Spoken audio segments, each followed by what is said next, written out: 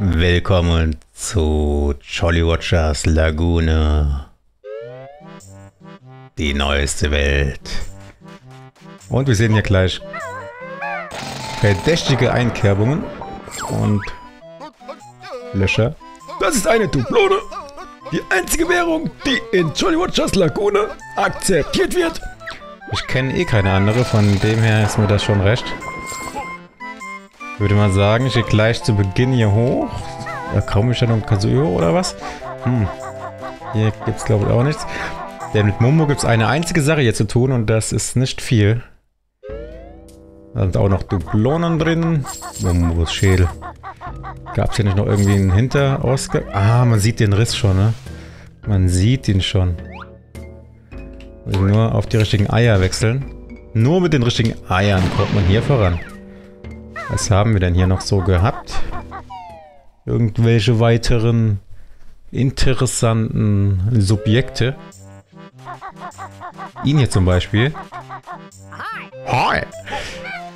Diesen, diesen Ausruf. Ah. Widerstandsfähig. Diesen Ausruf kennen wir aus Banjo Kazooie, aus dem Level mit dem Boot. Rusty Bucket Way. Das mit der geilen Musik und den unfairen Rätseln. Hallo, dich kenne ich auch aus Kazooie, aus dem Sumpf. Hey, was soll ich nur tun? Worum geht es, Tiptop? Mein Kleiner, er ist 32 Wochen überfällig. Kannst du mir helfen? Setz dich doch einfach drauf und brüte. Ich bin ein Reptil und kein Vogel. Er sollte von alleine herauskommen. Ja, dann helfen wir dir und mach einfach mal auf. Einfach mal aufmachen. Will nicht aufgehen. Komm. Das kriegen wir auf. Nein? Jetzt habe ich es aber getroffen, oder? Hm. Ich bin auch ein bisschen überrascht. Ich dachte, er redet mich jetzt nochmal an und ärgert sich, als ich versuche, es kaputt zu machen. aber es ist ihm scheinbar völlig schnuppe. Na gut, dann halt nicht, ne? Ich rede nochmal mit ihm. Er hat immer noch keine Anschalten zu schlüpfen. Ich mache mir wirklich Sorgen. Woher weißt du, dass das ein Er ist? Äh, es wäre besser, ich habe schon 19 Wochen. Was? 19 Weibchen hat er wahrscheinlich. Oh, du hast wohl ziemlich weibliche Spermien. ähm, da oben ist ein Gita, da kommen wir auch noch irgendwo anders rein. Gut, wir müssen hier einen weiteren Move kennen, bevor wir dieses Ei dann doch tatsächlich ausbrüten können. Aber wundert mich, dass man Schildkröteneier als Vogel ausbrüten kann und hier in diesem Fall eventuell sogar muss. Wo habe ich denn einen Globo her? Denn der ist von draußen, ne? Ich muss eigentlich den von hier in der Welt noch finden, aber das werde ich dann sowieso schon. Deswegen mache ich das jetzt einfach so und entwende ihn quasi. Ja, spreche ihn noch an. Jetzt ist eh wieder immer dasselbe Gespräch. Das kann man schönerweise ein bisschen abkürzen. Wir sind Zauberwesen ergeben. Ah, ich rede immer anders. Aber das kann man sich auch nicht so gut merken. Wie man die immer gleich redet. Natürlich, wir brauchen jede Hilfe, die wir kriegen können. Das wäre von den Mumbos Tasche. Das ist doch keine Tasche, das ist ein Topf. Ein Blumentopf. Mhm. Du mit deinem Diätgürtel wie ein Obelix anhat. So. Eine einzige Plattform gibt es hier. Mehr kann man mit Momo ja halt auch nicht tun. Einfach zu den Plattformen laufen und die betätigen. Total sinnlos eigentlich, dass er hier noch angreifen kann. Braucht man theoretisch gar nicht. Ein Teleporter, ein Warpfeld. Sehr schön. Das ist das einzige an Land übrigens. Das ist wieder weniger schön. Moment, ich muss hier nicht weiterlaufen. Das mache ich dann gleich mit Bär und Vogel. Das geht ein bisschen fixer. Ah, so viel Wasser, ihr seht schon. Warum ist es eigentlich golden? Ist es immer golden blinkend? Kann mich gar nicht erinnern.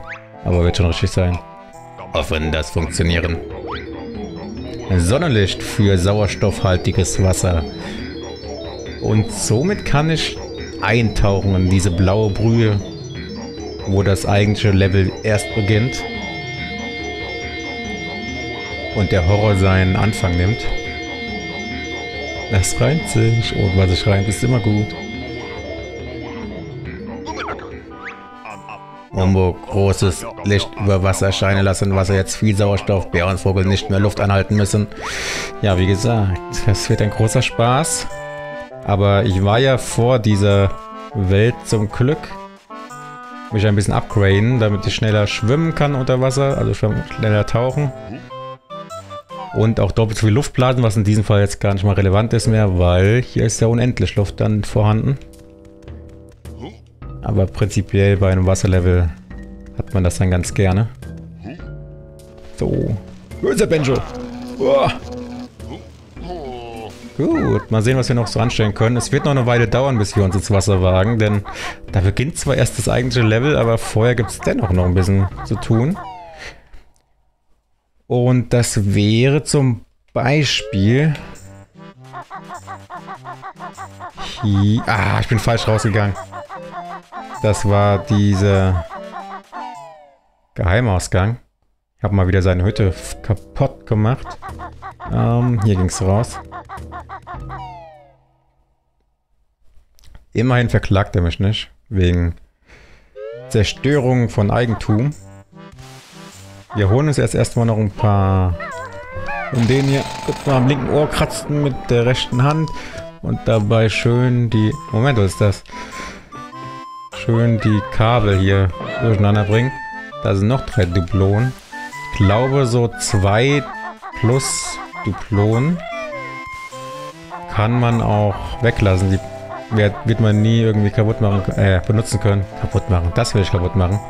Ich sehe zwar keinen Riss von hier aus, aber ich weiß, dass das hier nicht geht. Da muss ich doch den Riss finden. Wo war der Riss? Der Riss war auf dieser Seite. Und nur da ist es auch wirklich beschädigt und somit aufzubrechen. Bams. Aber eigentlich total unlogisch. Schön. Ähm, ich muss, weil ich Benjo bin, auf diese Plattform. Dann kann ich A drücken und dann kann ich mit Kazooie laufen. Dann mal hier entlang. Ich gehe ja nicht ohne Grund. Und Kazooie hier weiter. Ähm, was steht da? Torte Few Cave. Also irgendwas Englisches. Irgendwas Versautes. Da, ja, hier ist der Käfig, den wir gesehen haben von drüben, wo wir aus Mumbos Schädel rauskamen. Und ich habe genug Noten für den Kazufu. Welche Stärke dir hilft jetzt nicht mehr? Zur Verteidigung halten die Flügel nun her. Drücke B und wirbelst mit ihnen herum. So schickst du die Gegner ins Delirium. Das ist dann alles. Weggetreten. Aua, Genickbruch. ich liebe es, wenn das passiert. Das tut weh.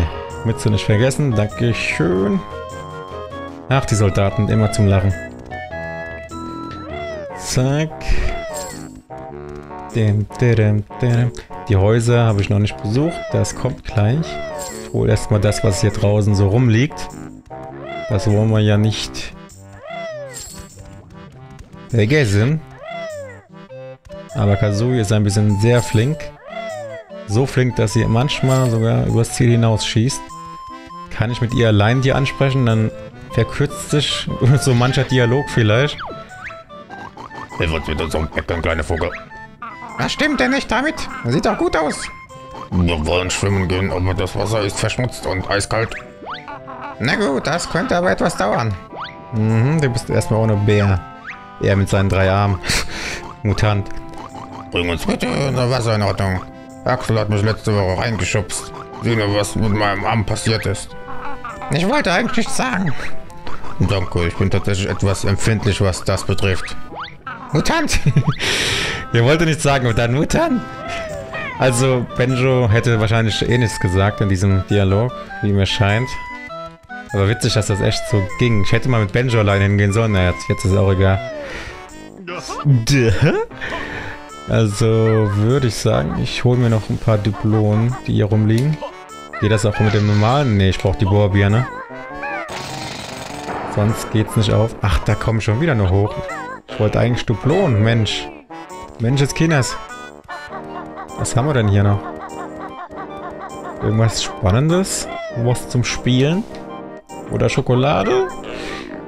Halt dich fest. Immer wieder dieselben Angstgegner, die mir nichts können. Die aber eh gleich wieder nachwachsen, also was soll's. In diesem Spiel stirbt keiner. Alles wächst wieder nach, ist sofort wieder da. Total kindgerecht. Außer an den Stellen, wo die Leute wirklich sterben und alles total melodramatisch wird. Eine leere Honigwabe. War hier nicht noch irgendwas? So, hier. Hab befürchtet, ich rutsche runter, aber das tue ich ja nicht. Okay, da geht's noch lang. Noch irgendwo. Ich will nicht ins Wasser fallen, ich will kein Mutant werden. Zack. Komm ich da wieder rein? Ah, herrlich. Ach, nur für ein Schild. Ja, super. Schädel, Strand, Strand, Schädel. Das ist irgendeine Kombi. Schädel, Strand, Strand, Schädel. Kann man sich merken, oder? Zweimal Strand in der Mitte. Mehr muss ich nicht wissen. So. Lass dich mal ins Wasser gucken. Will ich da wirklich rein? Erstmal vielleicht nicht. Ah, da sind Duplonen. Na gut, da muss ich rein. Ja, schön. Jam, jam, jam. Würde das Wasser auch von dem Zauber... Ja, sieht man ja, ich habe keine Luftblasenanzeige. Folglich. Gilt das für die ganze Welt. Der Zauber von Momo. Jam, jam, jam, ist das lecker. Kam ich da nicht irgendwie rein noch? Später wahrscheinlich. Von einem anderen Level aus. Ach so, natürlich. Ich sehe das... Oh, bin ich dumm. Das hätte ich doch gerade machen können, wa? War die wa? Leuchtreklame. Ah, bon. Ich gucke hier noch rein. Das habe ich gar nicht gesehen gerade. Das will ich der Vollständigkeit halber noch mir angucken. Da ist bestimmt noch was Spannendes. Was zum Spielen. Oder Schokolade. An derselben Stelle sage ich denselben Witz. Sehr traurig. Nicht runterrutschen. Ah. Hasui, du bist zu langsam. Zack, geht doch. Müssen wir uns einmal nochmal hinhangeln.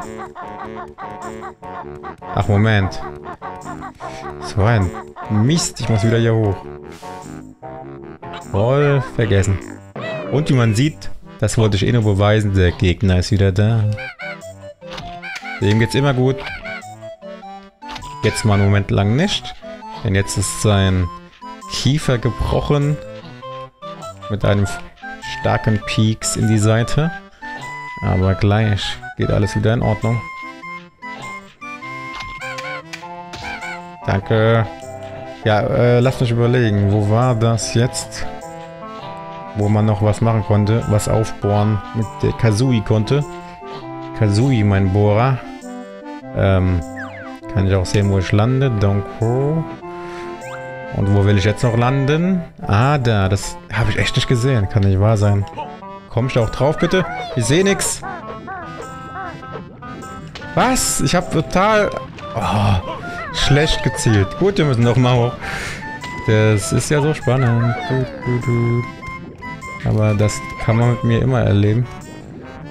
Okay. Ach so, direkt darüber ist das. Das ist direkt nach dieser Pflanze. Das müsste man sich merken können. So ein Mist, ich war in dem Loch schon drin. Mit dem Schild. Und direkt unten drunter ist es. Und am Ende bringt mir das wahrscheinlich eh nicht viel.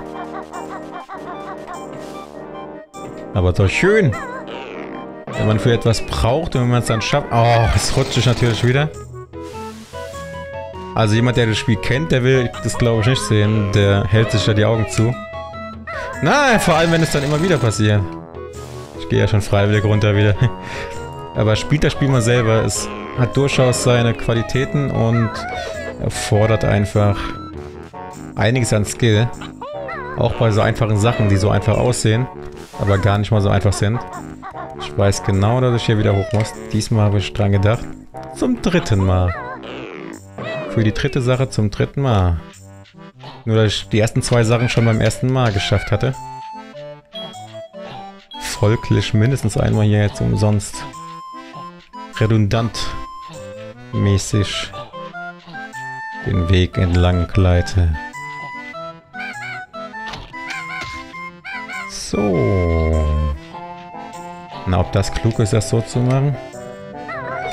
Hier drin bin ich schon mal wieder. Hallo, Nervenschild. Ich muss mich gescheiter umsehen können. Ah ja. So rum, genau. Dankeschön. War doch nicht so schwer. Ih, jetzt bin ich in diesem Ding drin.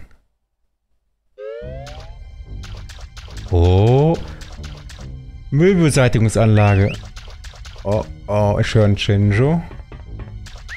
Das hat eine direkte Verbindung zur Grundti-Fabrik, wenn ich mich nicht irre.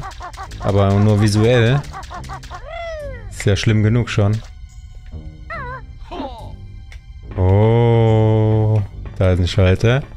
Und hier sehen wir ein Puzzleteil. Das ist Grundis Fabrik. Ja, ich will da nicht hin. Zum Glück dauert es noch lange. Was bringt dieser Schalter? Toxic Waste.